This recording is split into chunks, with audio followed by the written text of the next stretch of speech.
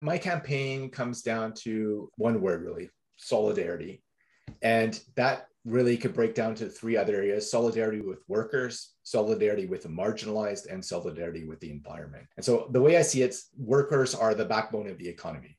I've, I've seen data recently as much as 80 to 90% of the consumers in the economy are workers. And so workers are the backbone of the economy in that they produce the wealth that is generated within the economy through their own labor in providing products and services for the economy, but as well through their own purchasing power, given that they're 80 to 90% of the consumers. And so without workers both producing the goods that are sold in the economy and then buying the goods from other workers in the economy, we would have no economy. Um, and so I think that we need to make sure that workers are respected, that they can take care of themselves and their families both now and into the future, like when they retire and whatever else. And then solidarity with the marginalized. I think everybody should be treated equally, you know, regardless of ethnic background or class, sex, orientation, um, your religion, ability, whatever it happens to be. I think everybody should be treated equal. I think everybody should have equal opportunities to be able to, you know, find success in their lives, whatever way that might be. And then finally, solidarity with the environment.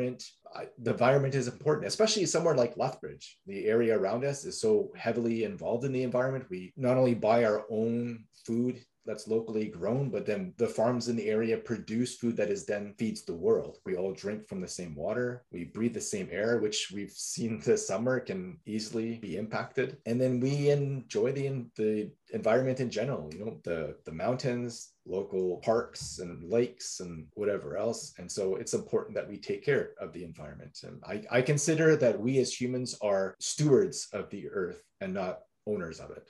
And that's that's my take on the environment. So I don't know if that helps place me on the political spectrum for you or not.